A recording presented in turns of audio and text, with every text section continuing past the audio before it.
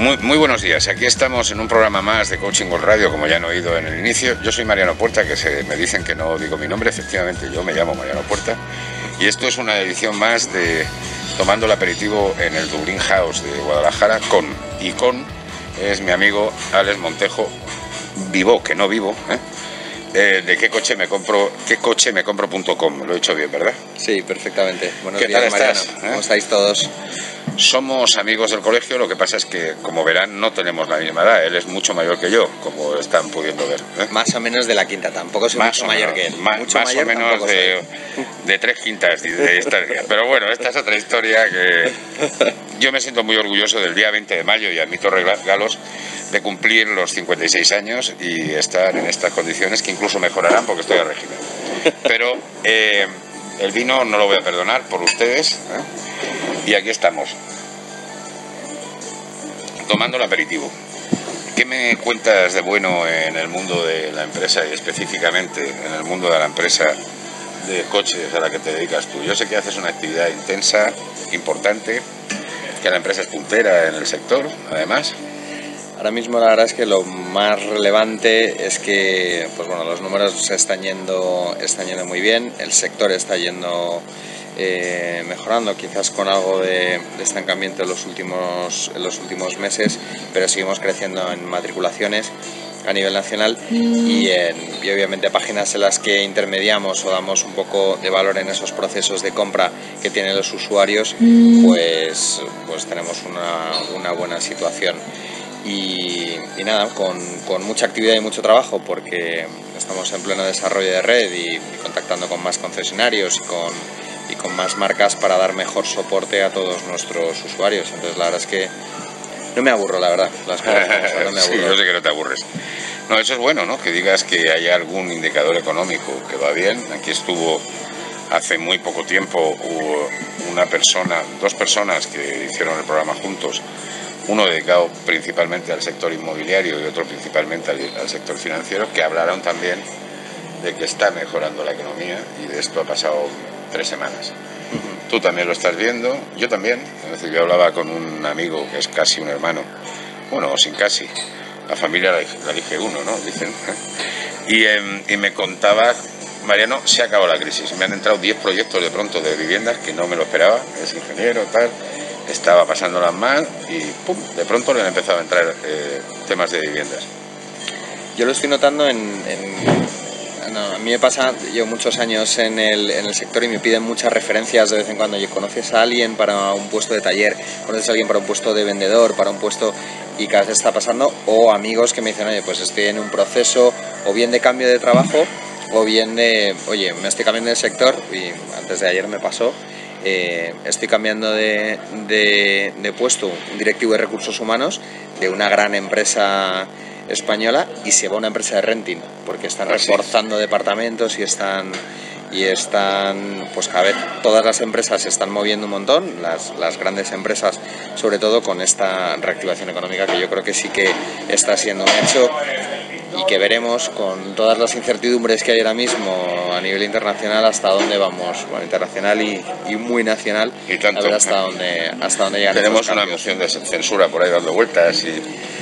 Sí, bueno. Tenemos de todo, pero ya nos hemos acostumbrado. Justo la moción de censura es la que a mí nos preocupa, ¿no? Porque parece que es simplemente una, una filfa y un brindis al sol pero es verdad que, que, tanto el conflicto catalán como el como internacionalmente como está cómo está Estados Unidos o que, en fin, hay muchos indicadores que esos no son tan positivos, ¿no? Pero, pero bueno, tenemos que confiar en, en nosotros, yo creo, y en lo que estamos haciendo, los que, en lo que estamos trabajando y estamos trabajando para bien y tratando de aportar valor a, en, el sector en el que estemos.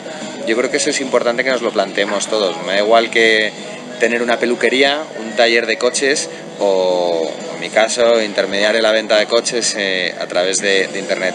Si lo que hacemos es para aportar valor a la sociedad, eh, creo que eso va, a ser, eso va a ser positivo siempre.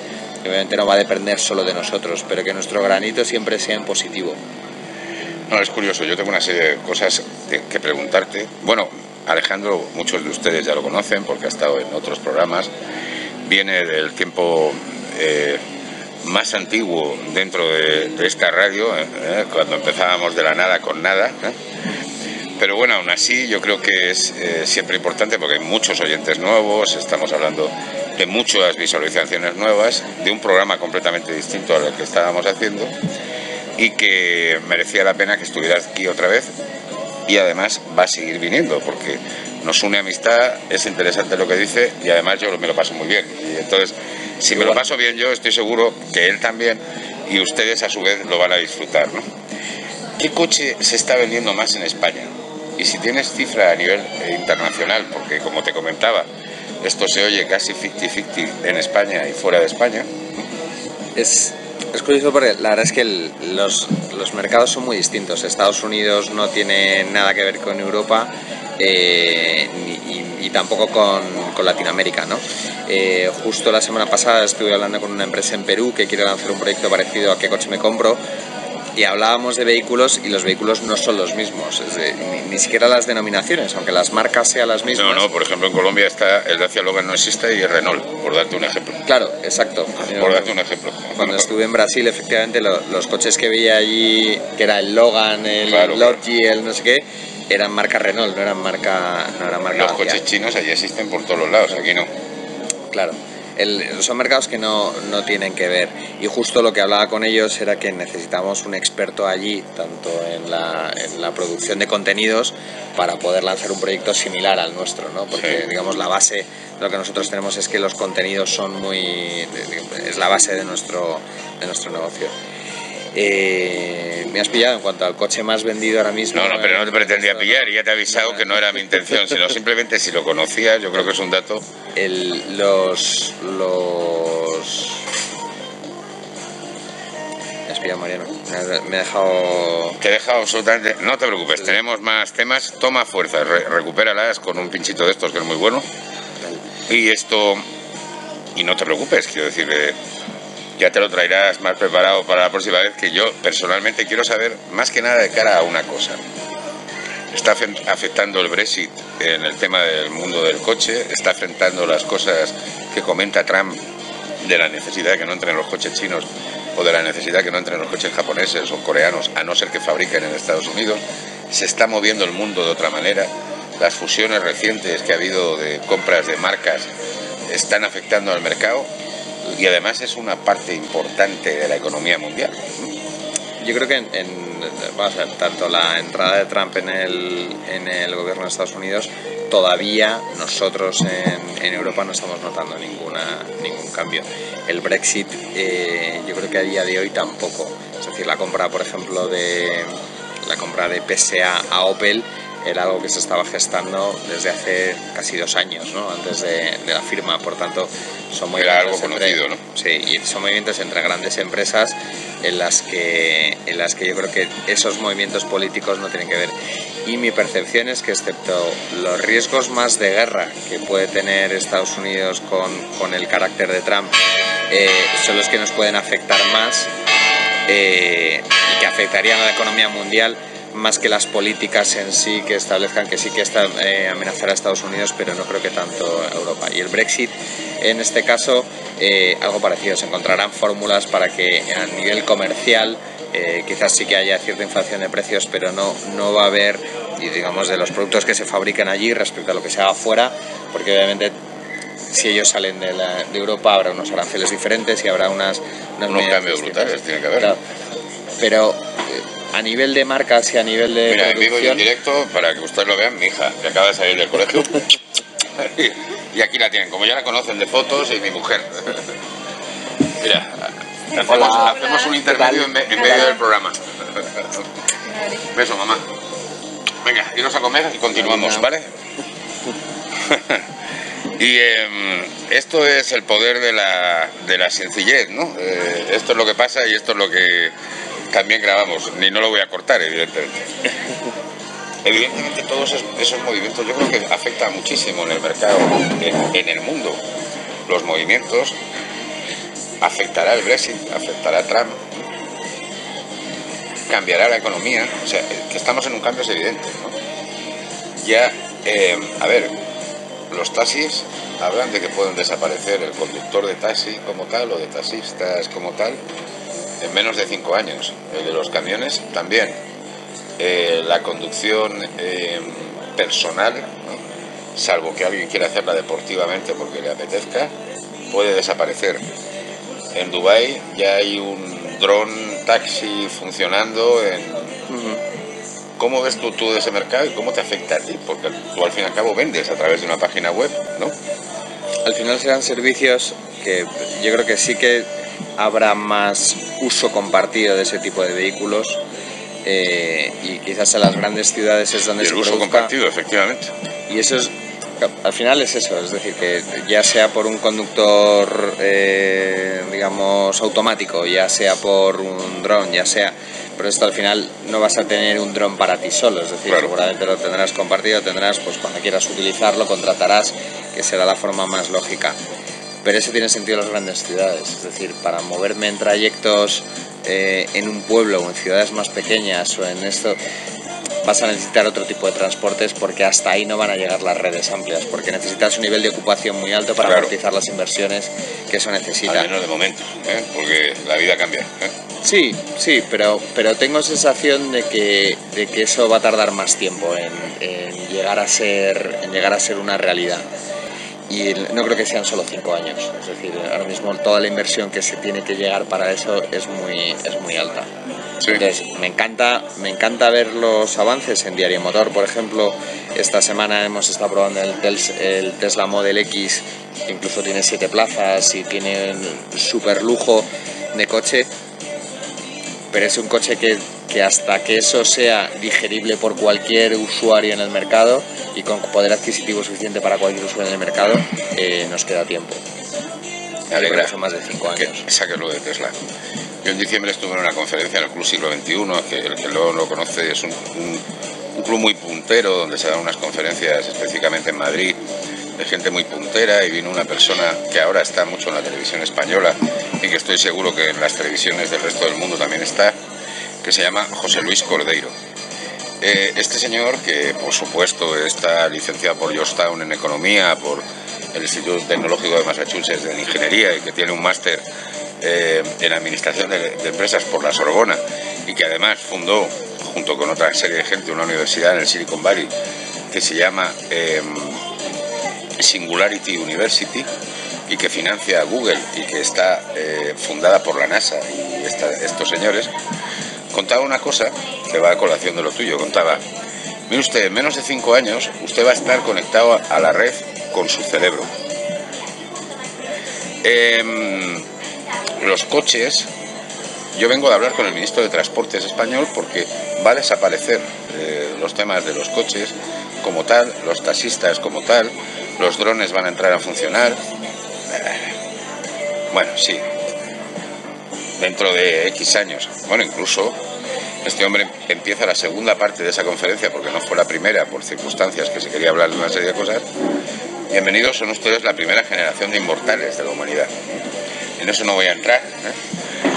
¿eh? Eh, eh, la noticia de Tesla de esta semana en Twitter, que es donde tú y yo nos manejamos mucho, era que el CEO de Tesla, tras muchas dudas acerca de la inteligencia artificial, había creado Neuro no sé qué, una empresa en la cual el primero que se iba a conectar a la, a la inteligencia artificial y a la nube era él. Entonces, Elon Musk está mucho más cerca de lo que parece. Mí esto lo descubrí en diciembre. Cierto es que ya había oído eh, y había leído a este hombre en febrero, mayo, más o menos, que empezó a hacerse muy popular en redes, en medios, pero que ya es un hecho. Ya es un hecho. Él hablaba también de que se ha conseguido ratones que duren seis años, cinco años, y eso equivalente a mil años para un humano. Por eso hablaba son ustedes la, primera generación de inmortales de la humanidad. Eso ya ha ocurrido, ya ha ocurrido en España. Entonces, eh, quizá hay que prestar más atención a la tecnología y a lo rápido que va, porque tú eres más joven que yo.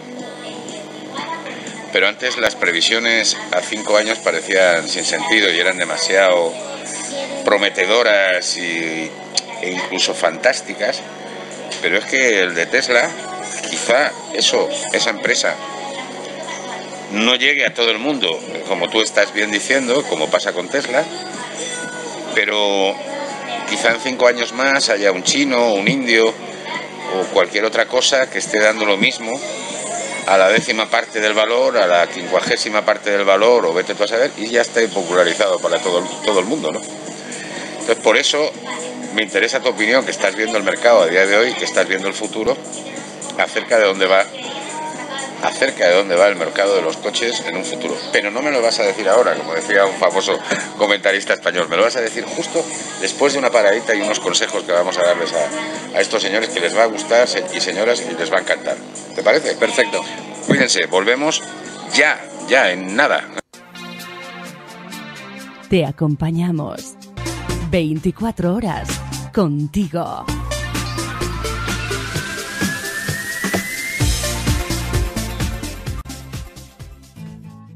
Escuchas Coaching Golf Radio, una radio online disponible en nuestras webs coaching-golf.es, así como coachinggolf.es, desde tu teléfono, tablet, PC, Mac, iPhone, iPod, iPad o dispositivo Android. Sencillo, sin instalar nada y sin esperas. Mariano Ángel Puerta y su magnífico equipo de colaboradores te hará disfrutar las 24 horas del día, 365 días al año. Escúchanos también en la web juego-interior.es. ¿Conoces la edificación Coaching Golf? ¿No? ¿No lees aún el blog de Coaching Golf? Con las firmas españolas de Mar Agulles desde Valencia, José Enrique Gardé desde Marbella y Mariano Puerta desde Madrid. Además, Edna Puentes desde Colombia, Carlos Vélez desde Panamá y mucho más. Y mucho más. También podrás leer todas nuestras colaboraciones publicadas en los magazines Soy Golfista, Golf Circus, Tijuana. ¿Te lo vas a perder? Léenos en www.coachinggolf.es. Además escucharás Coaching Golf Radio mientras que lo haces. Señor, ¿usted odia las colillas de cigarrillos tiradas en el fairway? ¿Disfruta el hoyo uno al amanecer? ¿Madruga feliz para jugar? ¿Odia que no le den paso los del Forson lento de adelante? ¿Le gusta la elegancia del golf? ¿Le tiene pánico a un cambio en el grip? ¿Oye a la loca de la mente? Queremos enviarle Soy Golfista, la revista digital mensual que le llega a todos los golfistas promedio, a sus pantallas. Tenemos Handicap 15, lo entendemos, sabemos de sus problemas y necesidades.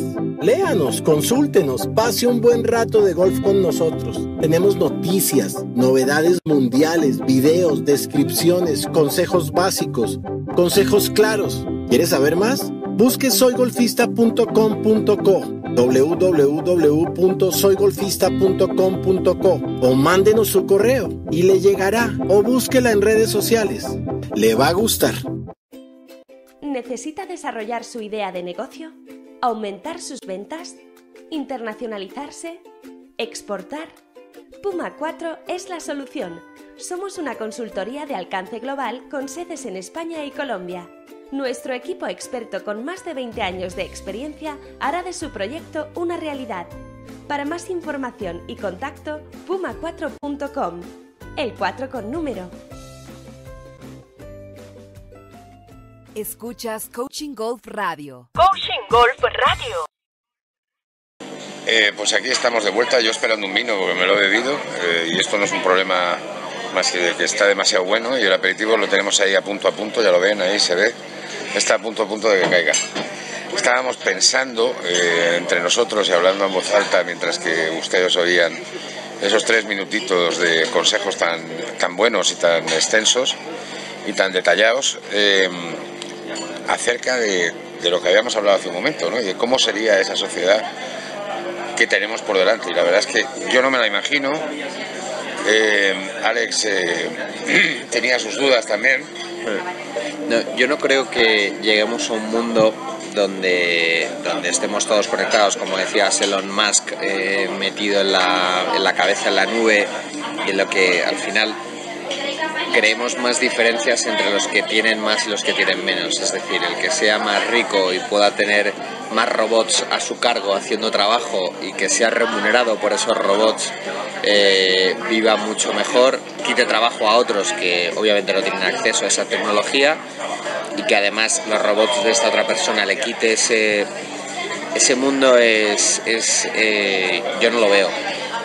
Pero claro, tampoco veo esa parte que estábamos comentando ahora en el, en el intermedio de economía colaborativa donde el trabajo que generan esos robots se repartan entre todos, ¿no? Que digamos los, los más buenistas, ¿no? En estas lides lo que dicen es que todo ese, toda esa producción se va a repartir entre todos.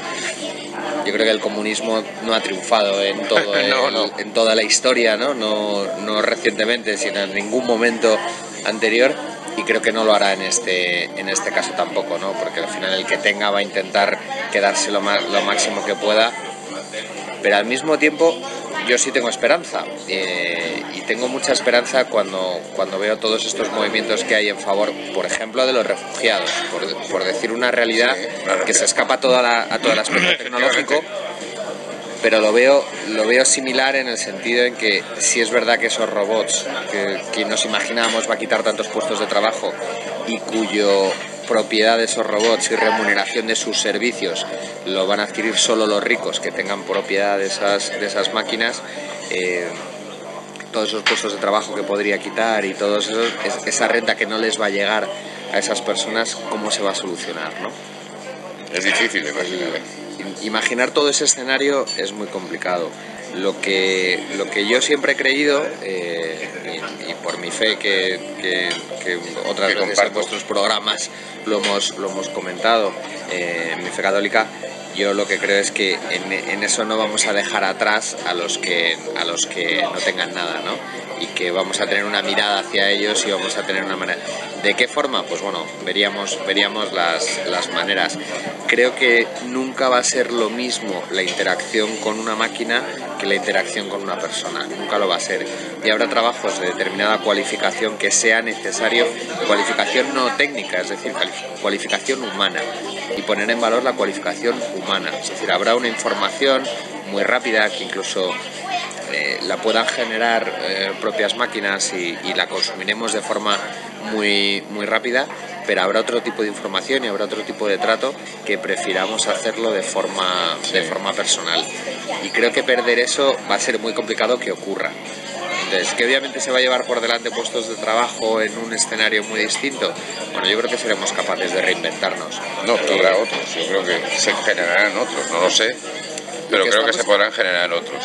Lo que estamos hablando antes de la, de la capacidad de generar valor, ¿no? Es decir, si nos quedamos encerrados diciendo yo es que solo sé poner un ladrillo encima del otro y como ahora hay crisis del ladrillo no puedo hacer nada, creo que eso va a cambiar y creo que va a estar en la educación desde las edades más tempranas en las que cualquier cosa que tú hagas tiene que ser un proceso de generación de valor. Yo conozco un, equipo de, de chicos en, en Galicia que se llama Thinking Design Galicia, eh, Thinking Design Gal, y los hermanos Saavedra, que no son hermanos, pero los dos se apellidan Saavedra. Y, el, y tienen, un, y tienen un, proyecto que se llama Bermis Lab, que, habla, que trata de formar a niños en el diseño. al final un diseñador es una persona que resuelve un problema, ¿no? Claro, Consigue innovar, cuando tiene un problema delante, decide innovar. Y, el, y esa parte es importante inculcarla desde edades tempranas. Ellos lo tienen claro y llevan un proyecto que de hecho ahora van a trasladar a Madrid. No sé ahora mismo en qué colegio iban a empezar, pero, pero lo iban a hacer. Y me parece fundamental que desde edades muy tempranas, que es también lo que estábamos comentando antes, que a nosotros lo que más nos preocupa es que le vamos a dejar a nuestros hijos. Es decir, es el motivo por el cual estábamos hablando de esto precisamente. Claro, claro. Entonces, ¿qué vamos a hacer en todo este ¿qué, vamos a, qué, esperamos nosotros? Pues que, pues que la humanidad no, no, se eche en manos simplemente de la tecnología y decir, bueno, como ahora todo lo hace la tecnología y es más fácil, no necesitamos nada más. Yo eso lo dudo mucho. Que eso ocurra lo dudo mucho. Es decir, respecto a, hablando de los coches, que era más, más mi negociado, ¿no? Sí, claro. Eh, el coche autónomo está muy bien. Eh, que te lleven, te traigan está muy bien. Y a mí para ir a una reunión, ir a una, una entrevista de trabajo, eh, de negocios me, me, va estupendamente que me lleven, me traigan y mientras tanto pueda trabajar con la tablet o hacer lo que sea. Pero para disfrutar, yo no quiero un coche autónomo. No quiero. te lo voy a, reducir a, algo que, que, también hay que verlo por ese lado. Es decir, chofer solo tenían los más ricos. Ahora se populariza el chofer con la tecnología. Esto ha pasado siempre, ¿no? Entonces, eso no, no está mal. Conducir a mí me gusta, pero a lo mejor las próximas generaciones el conductor va a ser alguien muy especializado que solo lo utilice para carreras o para determinadas circunstancias o incluso para conducir un dron, ni siquiera para conducir un coche. ¿Quién sabe, no? Una especulación mía, ¿eh? una reducción extraña de lo que puede ocurrir, que mi imaginación nunca va a avanzar como la tecnología, que será mucho mayor, ¿eh? muchísimo mayor. Pero ahí hay datos, no me acuerdo qué película era, una película de Sylvester Stallone, pero no me suena el quinto elemento, pero sé que no es esa película, en la que imaginaban la que imaginaban un futuro donde incluso las relaciones sexuales estaban penadas porque el cambio de fluidos era como algo asqueroso, ¿no? Y entonces todos los las personas que nacían nacían ya con una predeterminación a qué iban a hacer o qué iban a, y a Sylvester Stallone le, descongelaba, ¿no? Años después y decía, pero ¿cómo que no os dais besos o que no hacéis...? sin ir a esa parte, que no, no era mi intención, sino a la, es decir, la parte de las experiencias y las vivencias humanas, es decir, lo que yo disfruto conduciendo, yendo rápido, me gusta ir en moto y, tener una moto y el viento en la cara, ese tipo de cosas está fenomenal que un dron haga lo que tenga que hacer. Que un, claro, claro. Pero tu sensación de control, tu sensación de velocidad, tu sensación eso creo que no nos lo va a quitar, no lo va a quitar nadie y que habrá muchas mucho tipo muchos trabajos o muchas alternativas a lo que pueda ser el día a día y que una ciudad va a cambiar radicalmente pues seguramente. Pero creo que hay mucha locura, mucha locura con las eficiencias, ¿no? Vamos a ser lo más eficientes posibles y entonces es, me levanto por la mañana, una máquina conectada me va a hacer hacer ejercicio porque me pongo unos tens, ¿no? Y ya te suelta descargas y tal, y con eso ya haces ejercicio y rápidamente ya has desayunado y ya estás en tu puesto de trabajo porque tienes teletrabajo y en tu casa tienes no sé qué. Es decir, todo ese tipo de cosas eh, están muy bien, y fábricas, ¿no? Que robots lo hagan absolutamente todo, todo está muy bien, pero habrá componentes que se necesiten necesariamente ser humanos, ¿no? Entonces, ¿en qué medida o cómo? Pues bueno, seguramente lo que, lo que dicen muchos estudios, que esos trabajos ahora mismo no están inventados. Claro, eso, esa es otra. Los trabajos a los que nos vamos a dedicar dentro de 20 o 30 años no están inventados todos esos cambios, que es lo que decías antes, Mariano, que se van a producir en 5 años o que la gente diga en 5 años esto yo no lo veo. También se hablaba con los viajes a la luna, ¿no? Iban a ser muy rápido y muy tal. Bueno, pues es complicado llegar a la luna. Y, hay, viajes este año, ¿eh? Y hay, y hay previstos 10 en total para el año que viene, que pagan una fortuna, pero que calcula que en 5 años, 5, eh, pueda estar popularizado para que la gente pueda ir a la luna. Algo sorprendente. ¿eh? A ver, que la tecnología avanza una barbaridad, eso es lógico, lo decía hasta una zarzuela, me parece que es. Pero que, que avance tan deprisa como estas previsiones, no lo sé. Tan deprisa y sobre todo tan, tan lejos de la, de la sensibilidad humana y, de, y sin tener en cuenta ningún aspecto. Es decir, ahora mismo toda esta tecnología lo que está basada es en la eficiencia. Es decir, es que reducimos los accidentes teniendo los pilotos automáticos. Hacemos no sé qué teniendo, es decir, todo con unos, con unos grados de, buscar una eficiencia muy alta en todos los procesos. Y yo creo que eso se olvida de una parte importante, que es de, la, de una parte muy humana y en la que muchos nos vamos a revelar. En ese sentido de rebelión, en cuanto a que yo seguramente sea de los, de los que más tarde llegue a tener esa tecnología, claro. Eh, aunque pueda acceder a ella, pero que no la voy a querer disfrutar. ¿no? Entonces, todo ese tipo de, de tiempos hará que el de todo el mundo se retrase más. ¿no? Porque al final, un piloto automático, cuando el de al lado no es un piloto automático, claro. Eh, pues tendrá que ver qué, premisas tiene que valorar la máquina cuando tiene que elegir. Hay que depurar las responsabilidades de quién es esa responsabilidad sobre esa máquina, cuando hay un error o cuando hay un... Entonces, en todos esos procesos se va a tardar, entiendo yo, más de cinco años. Aunque haya Sí, primeras... que en las leyes y en esos temas de responsabilidades se va a tardar bastante más. El Parlamento Europeo hace menos un mes empezaba a regular el tema de los robots. No hay legislación. Y utilizaban eh, eh, Soy Robot de Asimov como punto de partida ¿eh? y en esas tres o cuatro leyes que hablaban en la película y en el libro, que ahora no recuerdo. La primera no hacer daño al humano bajo ningún concepto. Empezaban a regular así, porque no hay nada. Claro. Pero todas esas cosas administrativas son las que más tardan y las que llegan más tarde, efectivamente. y la que además existe una desconexión muy grande entre, digamos, los perfiles tecnológicos Sí. que los perfiles legisladores y los perfiles políticos que se dedican a... Cuando legislan algo ya incluso a veces no existe. Claro.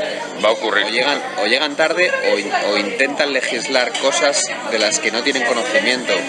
Eh, está pasando en un montón de cosas en cuanto a legislación en Sí, Internet sí, en cuanto a intentar implantar cánones o intentar, no, es que eh, yo conozco de cerca el caso de meneame.net, donde, donde están intentando cobrar un canon por agregar noticias de otros sí. Y, por, y por los ingresos que te pueda derivar agregar noticias, cuando en realidad es una red social, pero en la que, en la que entienden que hay un lucro por las noticias escritas por otras personas, cuando en realidad es una red social, es decir, habría que poner ese canon a Facebook, a Twitter, a todos, consiguieron echar a Google de España, perdón, a Google News Sí, de. España en ese momento.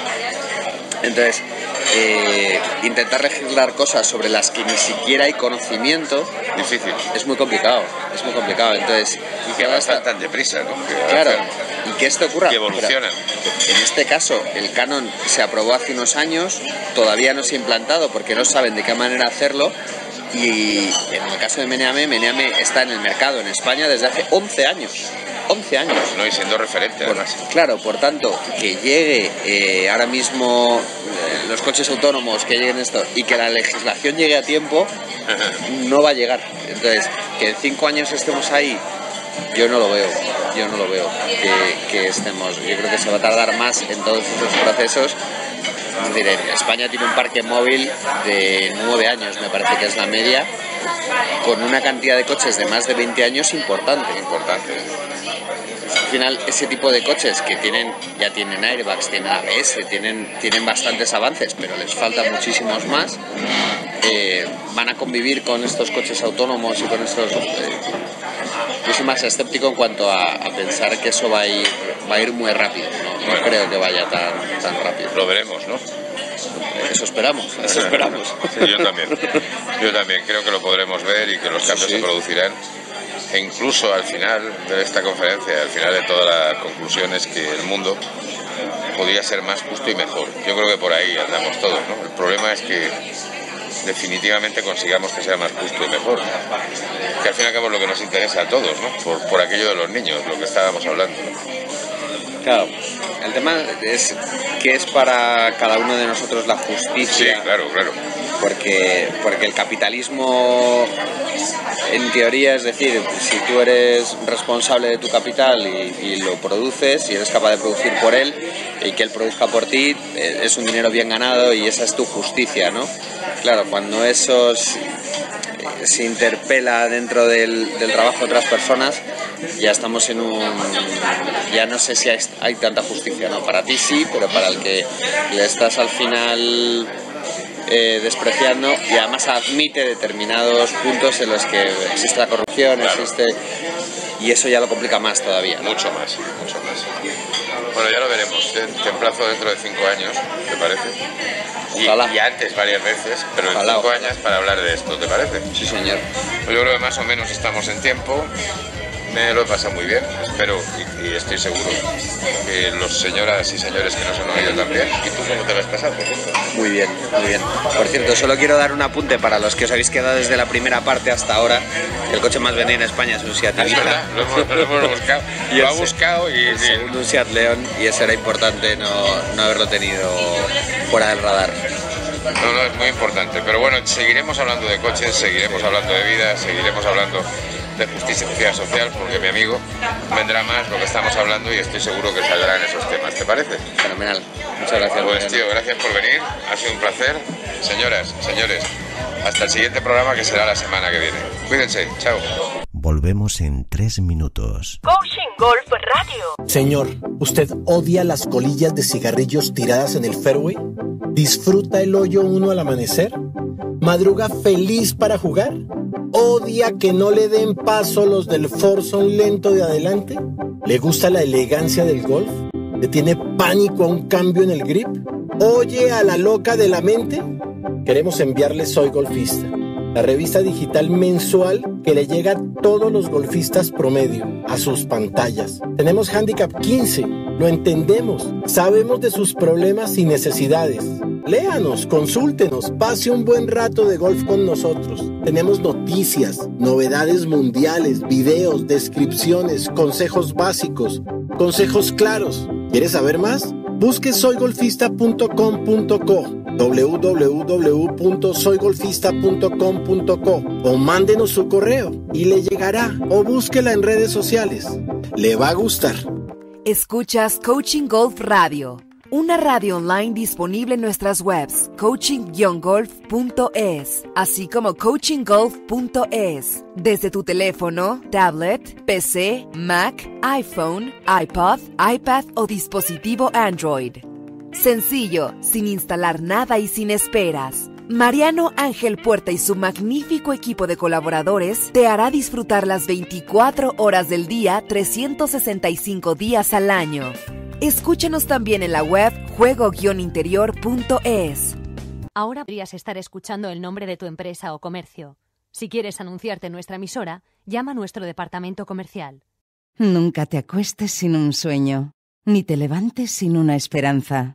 El bestseller de Mariano Ángel Puerta, un libro en el que encontrará una manera para atreverse a perseguir los imposibles, haciéndolos realidad, así como una inspiración para que usted también encuentre la suya propia, disponible en papel e ebook, español e inglés, a la venta en todas las librerías digitales, Amazon, Google Play, iTunes, El Corte Inglés y en la tienda de Coaching Golf www.coaching-golf.es Necesita conocer los montes para la conservación de fuentes hídricas, los cultivos de cualquier producto, la situación de cualquier especie significativa. El Departamento de Sistemas de Información Geográfico de Puma 4 cubre esa necesidad. Elaboramos apps online, ya sea para incrustar en webs existentes o diseñaremos y realizaremos la web y app para su organización, permitiendo así distribuir en mapas o planos las variables necesitadas, cultivos, carreteras, inmuebles, bosques, especies y usuarios. Para más información y contacto, www.puma4.com. El 4 con número. Escuchas Coaching Golf Radio.